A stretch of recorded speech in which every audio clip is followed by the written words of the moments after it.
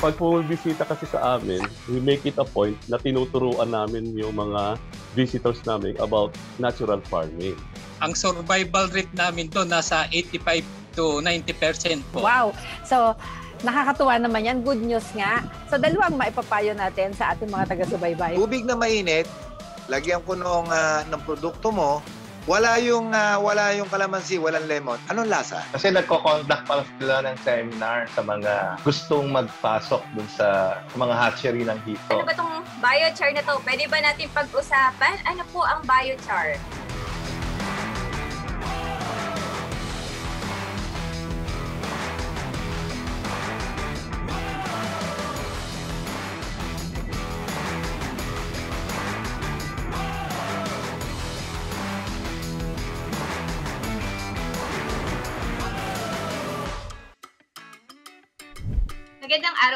Amy Boyko at ito ang Agri Ako Dyan. Kapag wine ang pinag-uusapan, ang unang naiisip natin ay gawa ito sa ubas. Pero alam nyo ba na halos lahat ng prutas ay pwedeng gawing wine? Alamin natin ang paggawa ng fruit wine sa pagbabalik ng Agri Ako Dyan.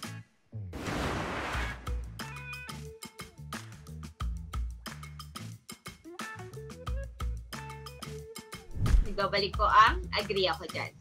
Ngayong araw makakasama ko po ay galing pa po ng Rizal Buwan, Batangas. Siya po ang owner ng RLI Farm. Kasama po natin si Engineer Reynald Ilagan. Hello po.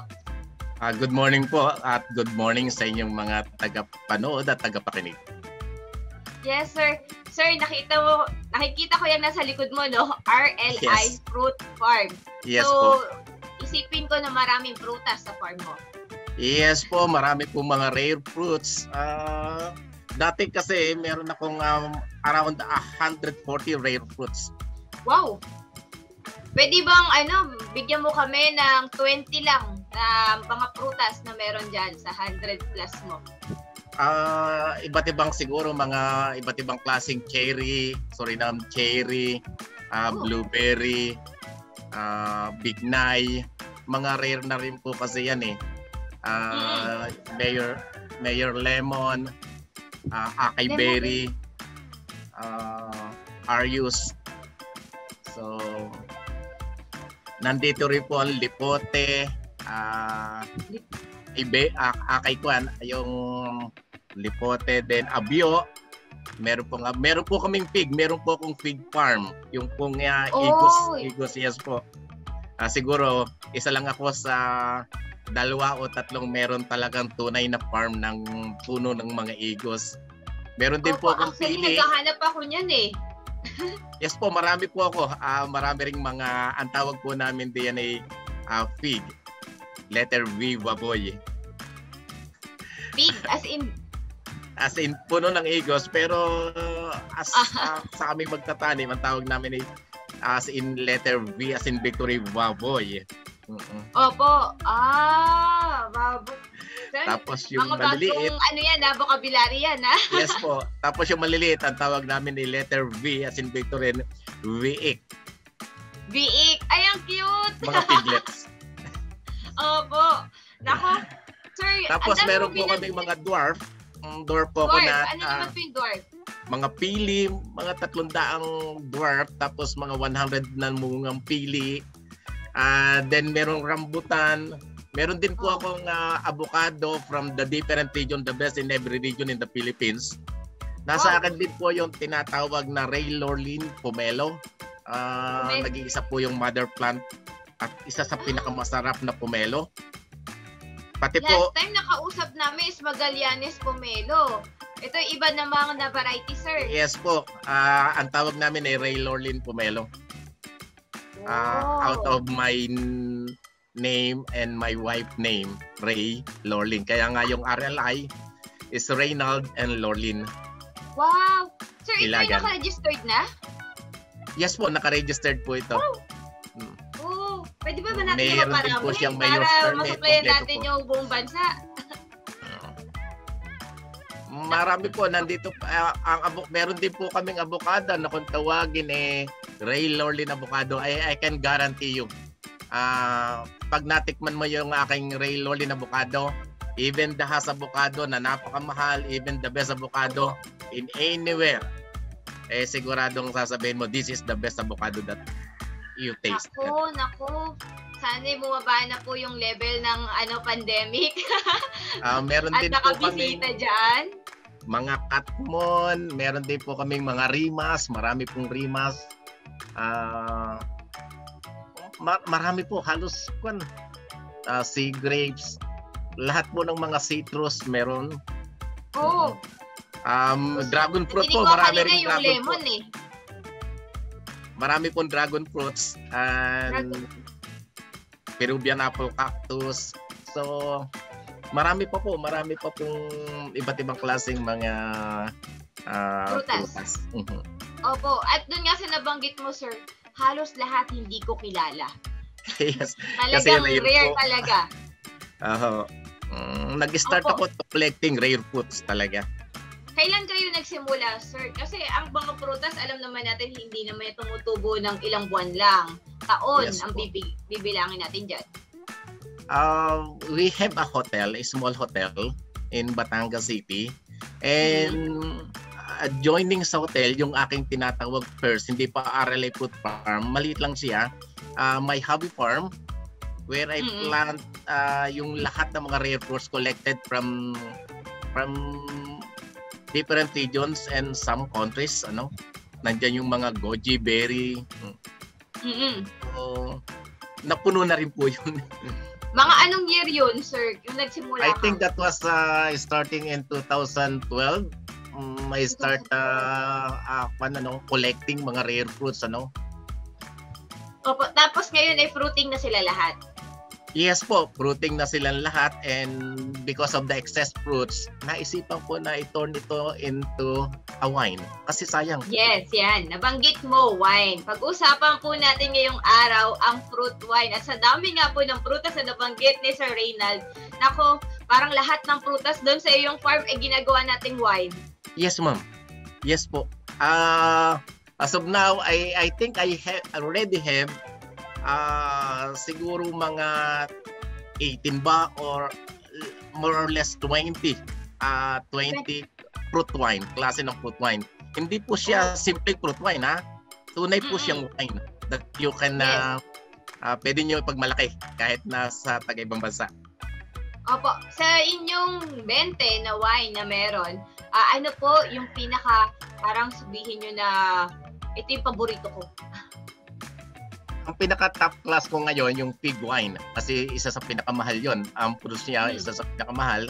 Pero ang isa rin sa nandun sa pinaka ah, sabihin natin ay nasa top class natin is the mulberry and the bignay wine. Mulberry, yeah. Yung mulberry, yung mulberry habang kahit hindi pa siya ginagawang wine, pag ano lang yan, eh, nadadaanan ko yan Yes. dito sa amin, eh. Pipitas ka lang eh, talagang Yes, makatas at masarap siya, di ba?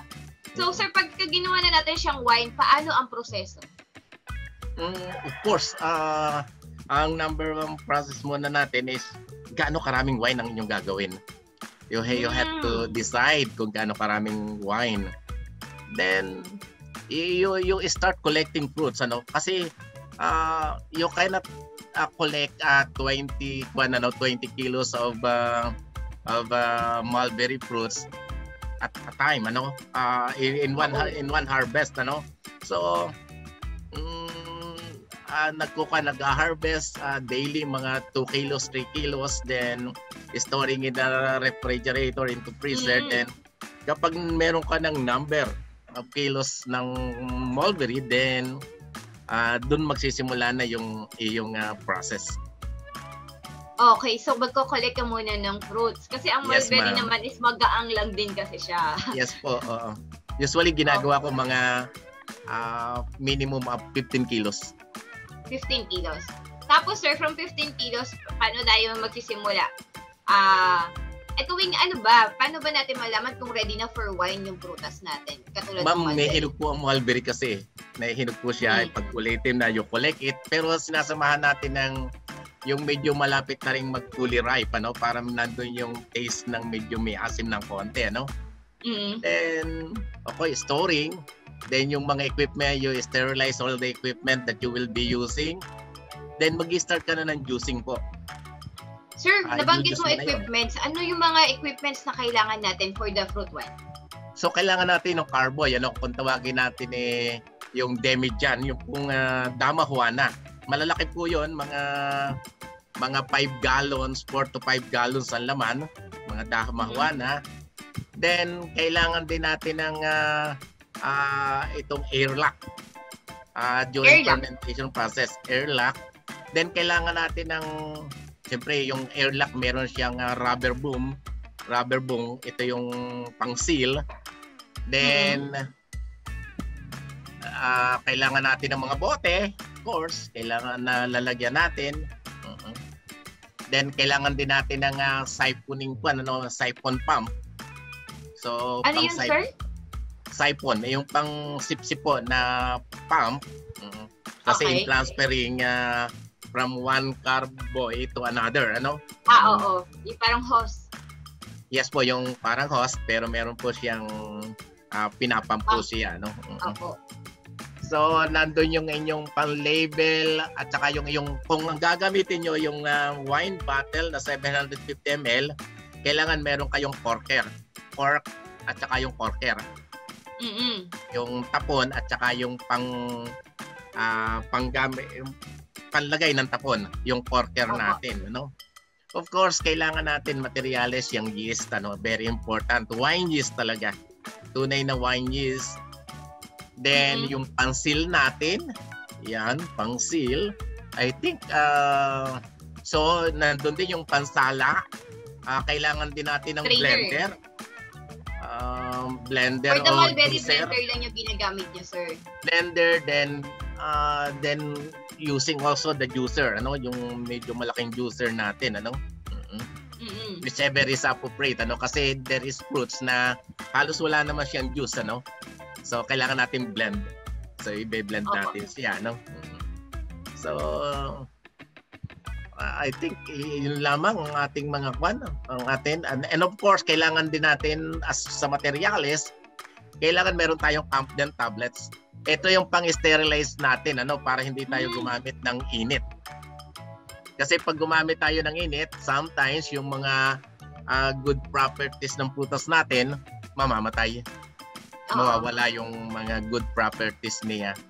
Sir, may nakakita ko parang ano, potassium, Ah, meta, in, yung kasing ah, yung kasing Campden tablets is composed of ah, it is make of ah, potassium metabisulfite. Yes po. You you can So, yun ah, yun, buy yun yun. Campden tablets or ah, sodium metabisulfite ano? Mm-mm. So, pwedeng alternative. Yes po, pwede, pwede. Ang problema lang natin sa winemaking in the Philippines, ano, when I start, ay nag-aral din kasi ako sa DOS, sa ATI. Oh. ATI. Ah so sa sa Mekong, Quezon City and ng winemaking and from there ano meron akong mga technical know-how all I need to have is those equipment yun ang pinakamahalaga kailangan Mm-mm. kompleto ka sa mga gamit mo or otherwise eh sayang lang yung hirap mo masisira Yes. din yan. Opo. Sinubukan namin gumawa ng wine grapes naman. yes po Pero- meron din po akong grapes wine may tanim din Pero akong feeling ko grapes hindi hindi siya nagtuloy. Kasi iba yung Ah. lasa niya. ang mahirap kasi sa sa winemaking once you prepare the mass yung pong halimbawa grape juice mass na that will be put into one process ng fermentation into winemaking uh, minsan kasi nabubulok yan eh at Oh. sayang naman yung yung 5 gallons na mass kung mabubulok lang siya nandun yung hirap Opo. Yes. sayang po Sir, so balik na tayo sa Mulberry na ready na natin yung mga equipments. Ano yung susunod? Ah, then uh, pa natin sterilize natin yung equipment. Then nandun na po yung uh, juicing or blending ng ating mulberry. Mm. Then ah, ang juice po kasi niyan ay very thick, ano? So kinakailangan nating add some water ganyan. Ah, so may prepare natin yung one bottle na Dama Juana which is 5 gallons. Ah, then we check we check yung tinatawag na sugar content Mm. Kapag kulang yung sugar content, then we add uh, sugar. Ano po yung normal at yung target natin na bricks ng sugar? Ah, nandun po siya sa 20 to 25. Yan. Usually, nandun ako sa mga almost 25, ano ganyan, ano. Oo. Ah, sweet yung wine mo, sir. No, not necessarily sweet kasi ah it will turn into alcohol. Mm. Kasi pag ah, konti lang, ah, pupunta ka lang doon sa mga 18, 17 bricks hanggang sa 20, eh, ang alcohol content mo medyo Mas mataas. mababa. Ah, ah, baliktad. Pagtaas kasi ng bricks, ng ah, bricks content, yung sugar content, ah, pagtaas ng mga puproduce nating ah, alcohol.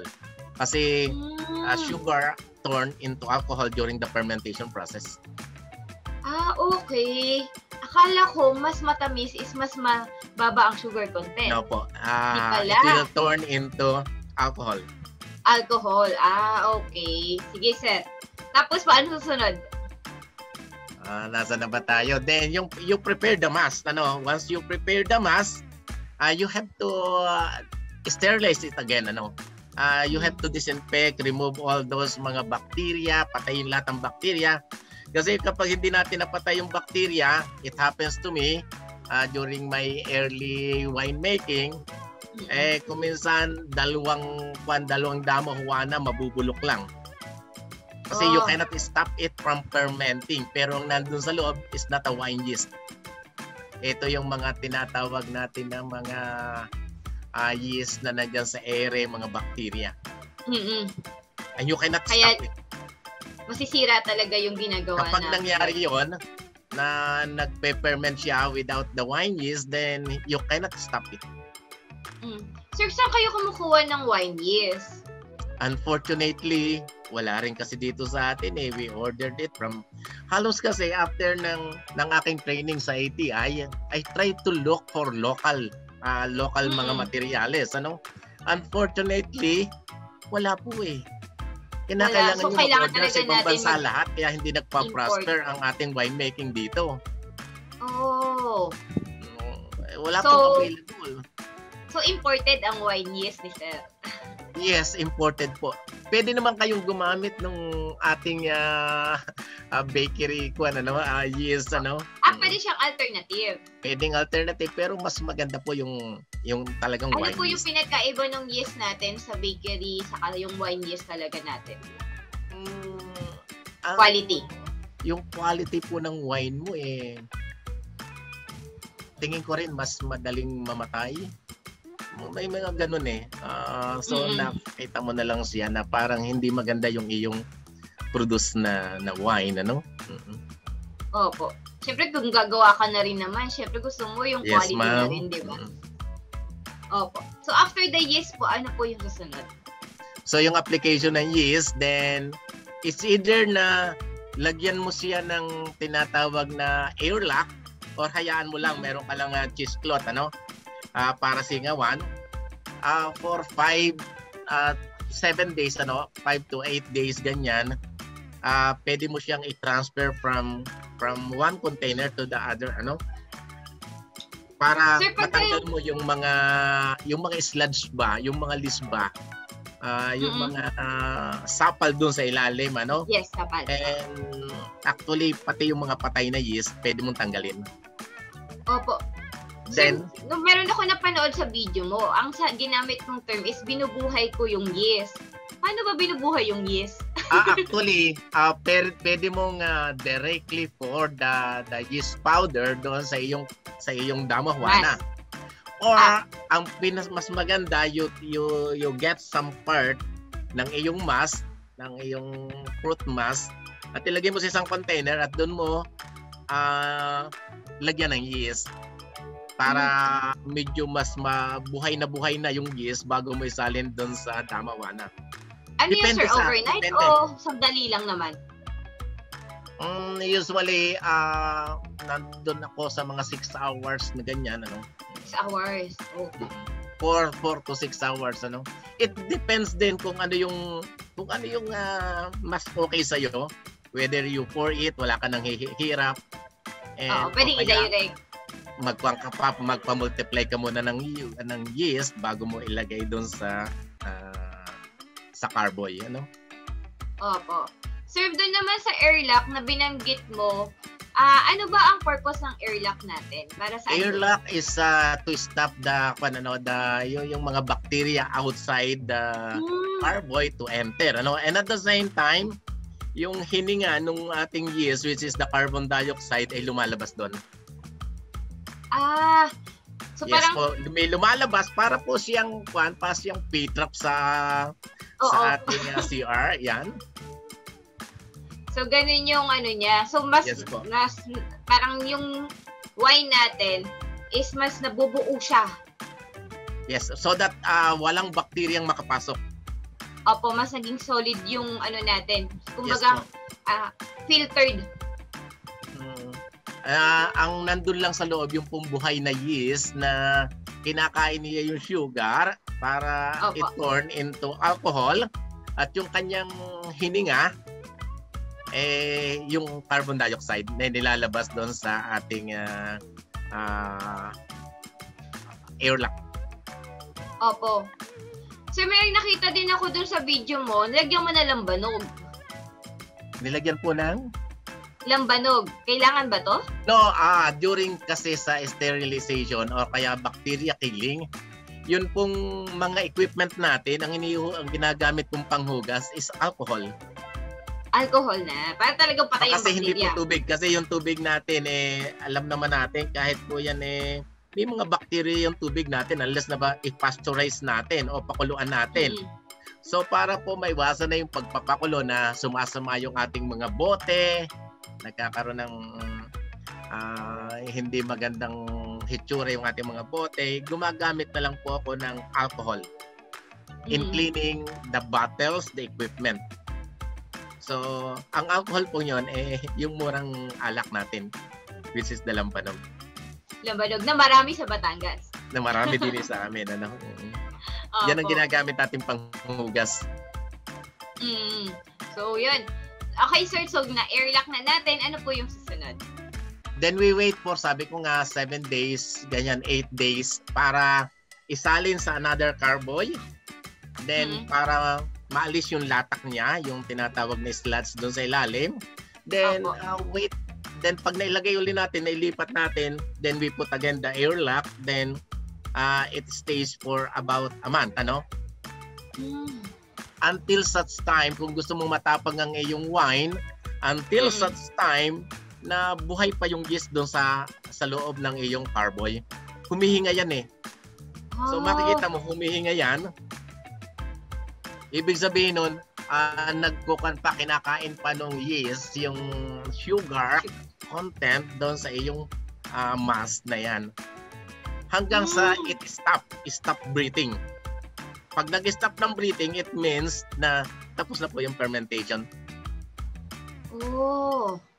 Kaya pala sabi nila, habang tumatagal, lalong sumasarap yung alak. Kasi yung yeast, inuubos niya pa yung sugar dun sa loob nung... Yes, during fermentation yan. During fermentation Oo. process. Oh. So, sa mulberry, ah, ano ang lasa ng mulberry wine natin? Dahil Hindi pa po tayo tapos doon. Ay, meron pa! Okay, sige, So, tuloy natin. After a month, after, After a month month. po na tapos na yung fermentation na or more than a month, then uh, uh, we transfer it again para maalis na yung yung, yung tinatawag na mga remaining sludge doon. Kung tawagin po natin racking na yan. Pagpapaklinaw, clearing, pagpapatining, Mm. and we have to ano uh, uh, stabilize yung wine kasi ang pinakamahalaga po ah, sa winemaking ay kung paano mo papatayin ang mikrobyo doon sa simula at kung paano mo papatayin yung remaining yeast doon sa katapusan. Mm. That is the two most important ah, part ng winemaking. Pag doon ka nagkamali, ma'am, sira ang iyong wine. Oh. Ang Even- crucial pala even- na to. After a month of fermentation, it might turn into a vinegar. Yes. Ang crucial, kailangan talaga eh, naka ano proseso. Yes po. Ah, kailangan patayin natin yung remaining yeast doon sa loob. And we rack it for uh, ako for clearing. Eh nung una after one racking, nagbabattle na ako. Pero napapansin ko ah, as I stored that bottle, meron pa siyang meron pa siyang sludge doon sa ilalim, yung tining. So, parang pangit tingnan. Although, ah, masarap siya at lasa, lasa, lasa mo yung fruit, pero kung kasi meron siyang pinaka palbits ba kung sa orange Oo. palbits doon. So, ginagawa kong ah, limang beses yung racking, yung clearing. Oh. So, ang wine from the start, ang aking wine, ah, it takes around 7 months Seven months. hanggang sa i-bottle. Opo. Oh. Matagal pala ang proseso. Pero, Meron kasing quality. na kapag kuha ng prutas, sinabi nila, Oy, may wine na ako. In just a week, may wine. Hindi po ganun ang winemaking. Winemaking is Kailangan aging. ng seven months. So, tumatagal pa ba kayo more than seven months? Or seven months is yun na yung pinakamatagal nyo na, Na ano, wine? proseso? Yes po. Ah, kuminsan kasi, sometimes tinatamad kang mag-battle eh. So, you just uh, Papatininin have mo na lang muna siya doon sa racking. sa, you just have your, your wine stay doon sa Damajuana, doon sa ating carboy. Uh, sometimes meron ako na 2 years na nandun siya before battling. Opo. Ah, kasi kumisan pag wala kang oras, lalo nung nag-opisina pa ako so I don't have that much time to stay in my kwan wine cellar ano so may iwan ko lang Mm. doon pero lalong masarap ang wine. My Opo. wine ang pinaka matanda ko kayatang wine is 2015. 2015, 2022 na, mga 7 years na. Yes po, ah yun ang wine. Be, ah, aged na kung tawagin ko siya yung mga vintage wine na. Mm. Anong fruit yun, sir? halos lahat din ng fruit na binanggit ko eh Ah. mm, Nasa age na na 7. oh, yes ganon meron ng age ang pinakauna ko kasing ginawa yata ay Chico wine pero napakasarap kasi nito kaya ah, pag may bisita eh yun ang unang nauubos Yun din na, na isa-serve. yes ah. Opo. Talaga, Chico? Pwede palang gawing wine ng Chico? napakasarap Ah, actually kaya ako ngayon ah, every season may Chico na ako kasi ang Chico dati napakamahal Kaya lang nung magkaroon ng tinatawag na punsoy, sinabi nila ang buti maitim, bumaba na ang presyo ng Chico. So yung 50,000 mong Presyo, dating presyo, nagiging 2,000 na lang. So I just convert it into wine. Mm-mm.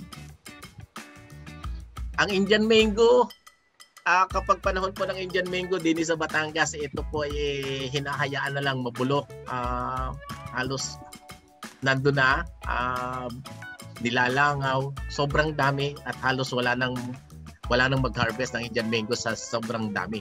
Pero you convert it into wine at napakasarap. Pati po santol.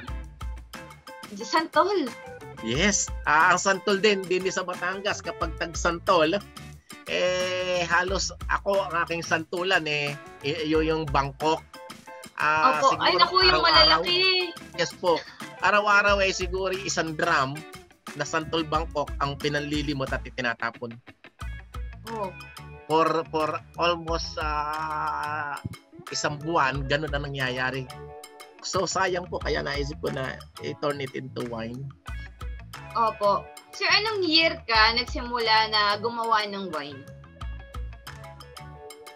Actually, ah hindi ko ganong makuha eh. 2012 ba? Ah, ay, ah, kasi, meron kasi kaming ah, cancer survivor, ano? Ah, May pamangkin ako at the age of 15, meron siyang brain cancer, terminal. Yes. So, ang ipinainom namin sa kanya, mga mga fruit juices, mga pinaghalo-halong blended. And ah, may nakita ko dati na isang 1 liter na ah, panlaban sa cancer na na, na wine ah, worth 10,000 pesos ano. So marami akong nabiling gayon para sa pamangking ko. Then naisip ko dahil sa aking mga ginagawa mga fruit juices then naisip ko na magpag-aralan ko ng todong winemaking ano Mm-mm. kasi nabasa ko kasi na yung palang ah, nutrients ng isang fruits, yung kanyang mga antioxidant properties, Yes. ano, kapag siya ay itinorn mo and ipinerment mo, nagmumultiply yung kanyang nutrient properties na yan, antioxidant. At tinatimes niya hanggang 10 times yung bisa ng kanyang mga mga proper antioxidant properties, anti-cancer properties na yan. So, mm, meron akong ginawa na ah, anti-cancer din na wine. Mm, coming from from bee, propolis, honey, and pollen, and other fruits. Opo. Pinagsama-sama niyo dun sa wine na yun. Yes po, yung aking anti-cancer na, na wine. Eh, eh, wala naman siyang panano, wala naman siyang proof na ito nakakagaling, pero it gives hope doon sa mga mamamatay na. Yes. Opo. Ah, at least ano, ah, nagkakaroon siya ng faith and hope na just might be uh, Mm-mm. pwede siyang before ah, yung aking 60 bottles ay pinamigay ko lang ng free. Oh, kaya Opo. lang collecting yung mga fruits na yan, I think now I have to sell it at a reasonable price na yung aking mga susunod na batches. Mm-mm. Pero maganda yan, sir, kasi alam naman natin yung antioxidant talaga is panlaban po for cancer. So, Yes po. itong inyong wine, eh, kung makakapag-develop pa tayo at maka ah, pro- provide tayo ng ganito para sa ating mga ah, kasamahan na nagsasuffer from cancer, it's a good Yes, po, ah, idea and na sabi mo nga bibigay po ng pag-asa. Bakit hindi subukan, di ba? Yes, ma'am. Ah, yung aking ah, pamangkin is a cancer survivor. Wow! operado sa utak si Dr. Ligaspe yung ang umipera sa kanya yung pinakamagaling nating ah, brain surgeon si Dr. Ligaspe I think siya yung head ngayon ng PGH Wow. Wow. Another success story para sa ating show. yes po. Dalawa. Ah, ang kaya lang ah, ilan nga lang yung ginawa kong yung first batch kong yon so kung sino lang yung talagang um, ah, may terminal cancer tinaningan na talaga ah, Mhm. naghihintay na lang ng oras yun lang ang ating binibigyan before ano. Ah, Opo. hanggang sa naubos na yung aking plan and I have to prepare again Mm, Mm-mm. Sana siguro sir, at reasonable price tayo ng madami kasi marami talaga nagsasuffer sa cancer. Yes po, ah kung minsan ah, may nagkukan sa akin, may pinapupunta sila rito, uh, ipadadala sa Mindanao, sa Bisaya, just to have that ano. And just to Opo. think, it give you, it gives us hope. Yes, Just might yes. be. Opo. So, it's a great help po kung meron tayo nga na to. At alam naman natin kasi ang mga prutas, it's a natural way din naman to cure yung ating mga ano, parang Yes. binigay na sa atin lahat ni Lord is how you will use it for your own good naman, di ba? Sir, sa ating pagbabalik, pag-usapan naman po natin yung bottling. Kasi napabalitaan, kung may sumasabog daw sa paggawa ng wine ng mga bote, kaya pag-usapan po natin yan. Ito po ang Agree Ako Dyan.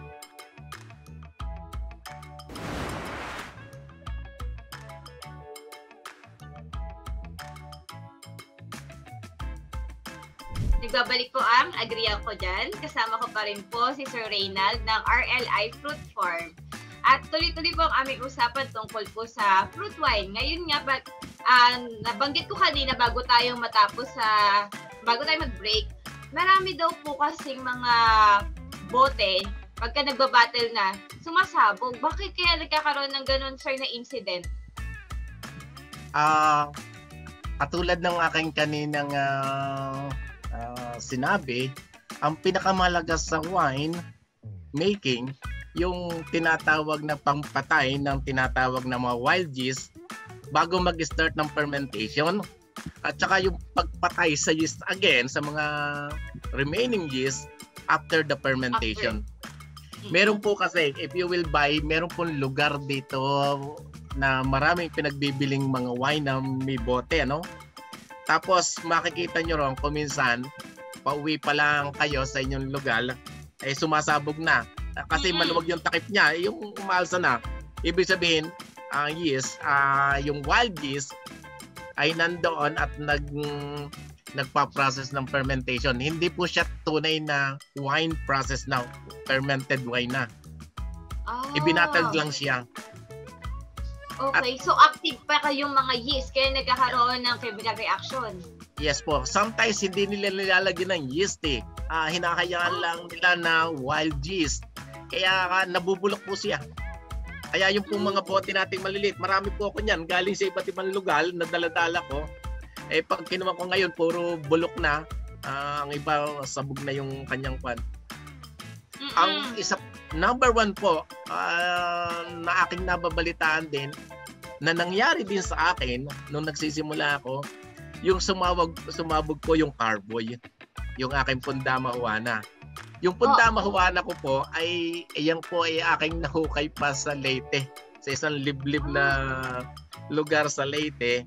At ito daw yung mga handmade carboy, ah, handmade na dama huwana, na panahon ng Kastila na gamit ng lolong lolo ng lolo niya. Mm. So, so nagparating po ako rito sa Batangas ng 30 uh, damahuan na galing sa kanya. Oh, Ah, kuminsan kasi nagpa, napapagkamala natin napatay na yung yeast ah after fermentation. So ang ginagawa natin tinatakloban nilalagyan na natin siya ng tinatawag na cork o, o rubber boom. Then ang isang pinakamasama diyan ay ating ah, tatalian yung rubber boom na yan ah, hindi makakasingaw. Kapag naman po buhay yung yeast pa sa loob, tumatalsik yung rubber. mm So sometimes yung ibang ginagawa, tinatalian para huwag tumalsik. No, that is one. Yan ang pinakamalaking error natin.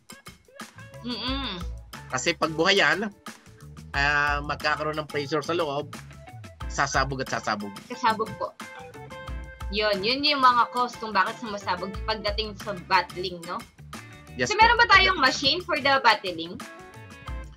Actually, meron lamang po tayong improvised na after ng ating racking, itinatransfer natin sa sa isang container na may gripo. Kasi ang akin homemade Mm. naman eh, backyard lang naman po ito. Ah, wala naman talaga yung malalaking machine ano. Nas- Machine, Ah. oo. So itinatransfer lang natin sa isang container na ang laman eh 4 and a half gallons, halos isang damahawana. Then after mga 6 hours eh saka natin parang grapong pinipihit at ibinabattle Mm. natin. Then How many hours after again, sir? Sorry? mga 6 Six hours, hours? para magkaroon po ulit ng pagpapatining ano po. Opo. Then, saka natin ulit siya, ah, yung mga bote natin, saka natin ah, tatakpan na siya, i-cork na using the corker. Mm-mm. Yung corker ba, madali lang siya? Kasi di ba pag tinatanggal natin yung cork, talagang pahirapan. Pero pagka nilagay ba, madali lang siya. No, ah kailangan meron ka rin ah, instrumento na pang cork. Oo. Meron So, siyang pinupulukan. Ah, y- Ipe-press mo po talaga. Yes po, ah, gumagamit ka ng ah, pressure para pumasok yung at talagang special tools para sa cork. Opo. Kasi, yan talaga isa sa pinakamahirap eh. yung pagbukas Ang- ng wine. Ang Pero ang saya naman rin natin, bumukas na siya. wala po tayong cork dito. Mm-mm. Galing din sa So yung sa'yo is imported din. Mag- Yes po. Pati yung Oo. corker imported din. Oo. Yun ang problema kasi natin eh. Ang cork natin dito Walang yung materials. nabibili sa Divisoria na hindi uniform yung size niya na pang wine. Mm-mm. Opo. Ah, yun po ang problema natin. Saka yung ibang cork, hindi siya ganun ka, ano, solid yung loob. Merong Yes, mga... hindi ka soli, hindi ka kwan. Opo. Meron talaga pong ah, cork na pang wine talaga. At may Pang size wine. po yan. Sir, ilang taon na kayo na nagwa-wine, no? Ano yung mga do's and don'ts na pwede nyong i-share sa ating mga kababayan kung gusto din nilang gumawa ng mga fruit wines? Kasi meron ako Importante. nabasa, ah, isang naka-isang buwan na yung wine niya, hindi siya naging wine, naging vinegar siya. Oh, kasi ang sabi ko nga, yung before the fermentation, kaya kailangan walang walang buhay na bakterya doon sa loob ng mast. Doon sa doon sa juice na ah, with the right sugar, ah yung kung tawagin po siya mast ano, ah, ah, fruit mast, eh mayroon pong bakterya doon.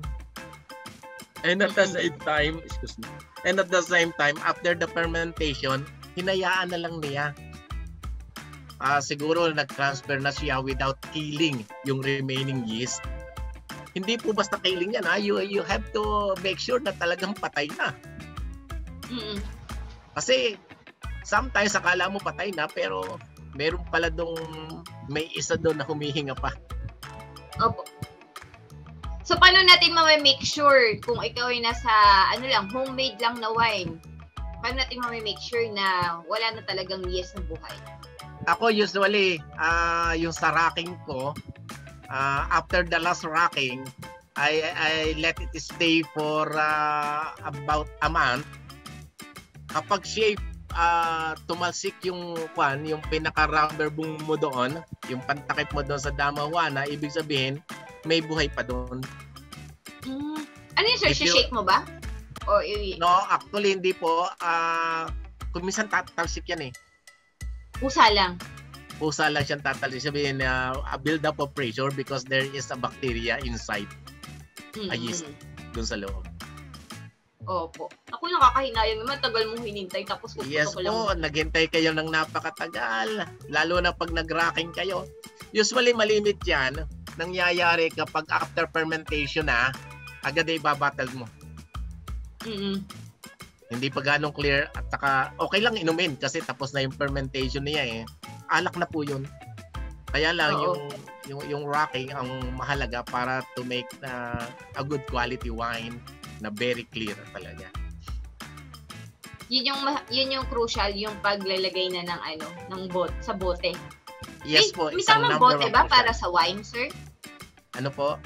May Pardon ma'am. tamang bote para sa wine. Yes po, ah importante nang gagamitin ng nating bottle. Yung bottles natin is a wine bottle. Ah, yung 750 ml, yung puwit niya ay nakalubog, ah, malimit ganon ang wine. Mhm. Tapos meron akong ginagamit ngayon na ah, 1.5 liter. Gusto niyo pakitaan ko kayo?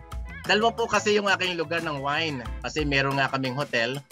And there is a part sa hotel na mayroong pinaka-basement where I uh, first uh, do my wine fermentation. Ah, marami po akong alak pa rin doon, ano? And ito yung So this is a pomelo wine. Galing Ay, yung Raylord ganda. yung Pati pomelo. yung packaging, maganda. Tapos this is rambutan wine. Yan. Wow. So halos lahat po ng prutas na meron ako sa farm, eh meron po akong wine. And this is my new bottle. This is the Big Night wine, Uy, 1.5 liter. 1.5. Ito pong isa, this is uh, 750 ml. Tapos itong isa, uh, 1.5 liter. Ano? Sir, yung 1.5 nyo parang pang, ano yan, pang export na itsura niya na. Opo, na nakakumpo pa to. Ah, meron po siyang nagpagawa na rin ako ng ng box para po diyan ano. So kung makikita niyo po yung aking ah, wine cellar na 'yon, Opo. ah, puno-puno po siya ng wine. Ah, Mm-mm.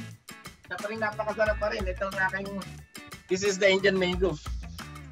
Ayan, Indian mango. Yes po. Yan na, hindi ko pa po natitikman. Yung Big Nine nakatikim na ako eh. Yung, yung Indian Yung mango. banana yung- wine po at saka santol wine, napakasarap din po. At kung makikita nyo to,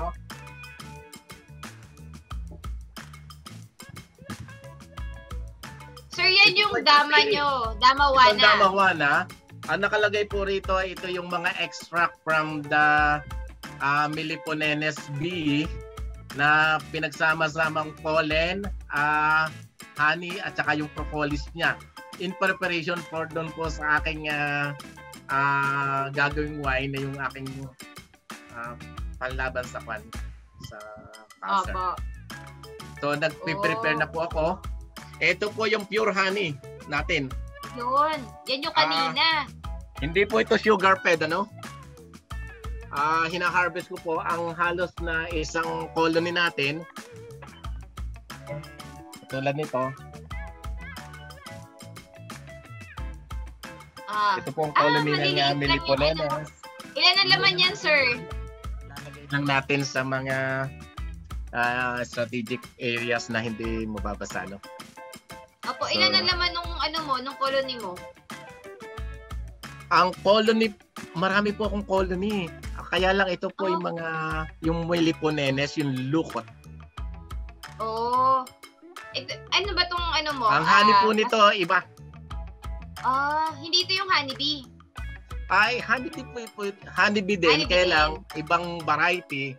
Ang akin pong laywan, yung laywan po yung pinoproduce po ng mga maghahani. Natural po, ah, nakalagay po siya sa natural yung kanyang paggagawa ng colony, hindi po siya nakabox.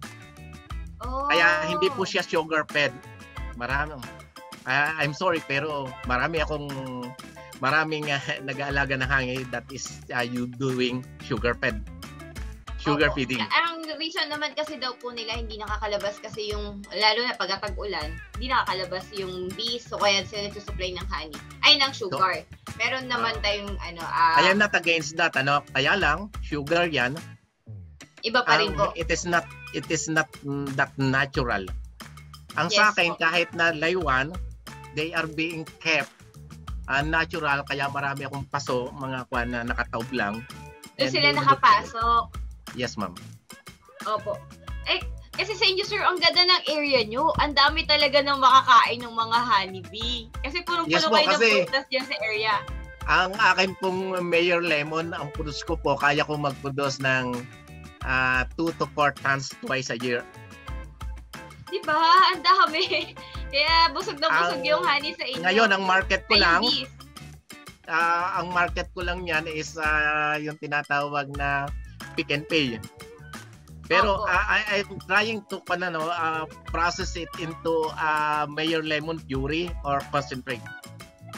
Oo. Para ah makagkaroon tayo ng extra pa pong income. Sir, ang Yes tanong po na mabalik tayo sa wine. Tumalo na Yes. tayo sa nga, lumayo na. Mabalik tayo sa wine. So, ah, pag-usapan na natin yung mga do's and don'ts, yung mga payo natin para dito sa wine. Ano ba pinagkaiba nung lasa ng regular wine dun sa fruit wine natin? Ah, yung kasing ah, ayaw ko magsalita against the other ano, no, other wine ano. Pero ang fruit wine natin, alam natin na it is not coming just from grapes. Usually kasi ang ating mga mga wine binibili, it comes from grapes, ano? Ah, galing sa ubas. But our wine is coming from from actual fruits, ano, that you have in excess. Ah, and of course, if you will be selecting wine, fruit wine, eh titingnan mo ano bang properties meron yung iyong prutas na yan. And if it has that antioxidant properties na 10, eh after fermentation, eh, it one, nagiging 100 yan. Mm-mm. So ganong kagandang Times 10. As long as Yeah. you will not be heating it, ano, you will not pasteurize it, ano. Ang Sir, ano ang ano natin? Alcohol content natin for the fruit wine? Ilang percent? Nakalasing ba yan? Meron kasi akong yes ma'am. Ah, pag nakaupos ka isang bote lasing ka. Umisa nung maabot ng ah, doon sa aking pantingin ha, I, I don't know, sa ibang pantingin ano, pero sa aking pantingin umabot siya ng 20. 20. 20% by volume. Oo. Nako. Ah, yung pong Ah. isang yung pong isang 1.5 liter na, na wine Ito pong 1.5 liter na wine na ito, sa tatlong tao o apat na tao, malalasing sila. Taob. Pero napakasarap po nito, napakasarap. Even women, napakasarap po. Lalo na yung santol wine at saka yung banana wine. Gustong gusto ng mga babae yun. Pero yung iba na gusto nilang pero silang ginagamot sa katawan, ah, mostly they ask for big night wine. Sir, kasi ano to eh, ah, paan, ano ba kung sinabi mo kanina may papa, ginagamot sila for the wine, no? Yung big night. Ano ang intake na to? Ah, usually ah pag mga anti-kwan para sa sakit ano, I ask them to take it uh, uh, 30 minutes before meal. 30 minutes before meal. Ah, yung mga Di ba nakakalasing yun? Di ba sabi nila huwag iinom ng alak pagka ano, di, wala Yung laman yung tiyan. Isa lang kupita. Yung isang pan lang, yung mga 10 ml, ganyan. Agay lang. sabi Yes nila. Kung, kung panggamot po ang gagawin nyo, Mm-mm. if you will be using as uh, kwan, ano, pang panggamot, Pwede siya na isang Ah, gan- yes po. isang tagay Eh, before meals. meal. para Yes. po ah, siya yung unang-unang makukan ma-absorb ng ating katawan and if if it has that anti-kwan anti-disease properties then siya agad yung atake. Opo. Kahit sa ibang bansa kasi, di ba? Sa France, ah, European countries usually, lagi talaga silang may wine pag ikakain ng pizza, ng pasta. Yes, Every ma'am. meal, meron silang wine kasi ang ano naman ng wine daw is for the blood circulation. Ang ma- ang iba lamang wine, they are distilled ano. Um ah, they are pasteurized ano. Yun ang ah, kaya maganda pa rin yung yung ano, homemade wine ano kasi nandun lahat nananatili yung mga nutrients niya. Yes, the nutrients. Opo. Sir, bago tayo magtapos, ah, paano pa natin ma-avail tong mga wine na to? Saan ba ito nabibili? Pwede ba lang Actually, Pwede wala pa po pa-order sa market, but you can come. Uh, you can come visit us at RLI Food Farm sa sa Rizal Baman, Batangas. Come, uh, pick some fruits, uh, pick and some uh, Mayor Lemon, even tons. And then uh, taste our wine. Meron kaming agad ay patetesa yung mga wine. Then you Wow. can take home the wine you want. yung wine mo, ang, ang ganda ng bottle, imported ang cork, imported ang ating mga ginamit na materials. How much is your wine? Meron po kasing mga vintage wine eh. Ang vintage ko yung mga 5 Depende years sa age. na... Oo. Ah, tinatarget namin sa fruit wine is uh, uh, 1 ml is 1 peso. 1 ml. So, sa 750 ml is 750. Yes po. Hindi na masama. Target. nga. Oo, okay na yun, sir. Ganda ng ano, maganda ng presyo, 700. Pero yung as you, as, uh, as it aged, then yun medyo nagmamahal po yon as it aged. Tawag po namin mga vintage wine eh. Wine na po Opo. sila. Around how much yun, sir? Ah, mga 5 years mga nando sa mga 2k ganyan. Mm. yung ah, yung 1.5 liter mas mahal ng konti Opo. mas mahal ng konti po kaysa dun sa newly ah, bottled wine po Yes.